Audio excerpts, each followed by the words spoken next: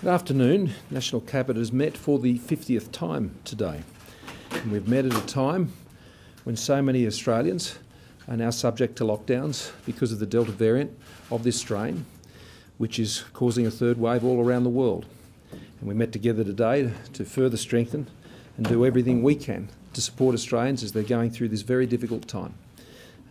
Strengthening our supports, whether they be economic, continuing to support the, the efficacy the lockdowns so they can be effective. And the sooner they're more effective and the sooner they are effective, the sooner they end.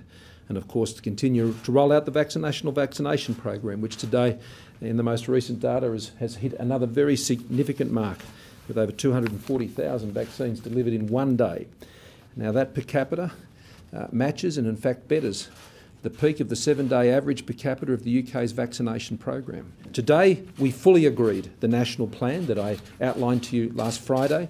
I said it was agreed in principle last week, and uh, that today uh, it was confirmed and fully agreed. Uh, the national plan, that pathway that takes us to the position where we live with this virus.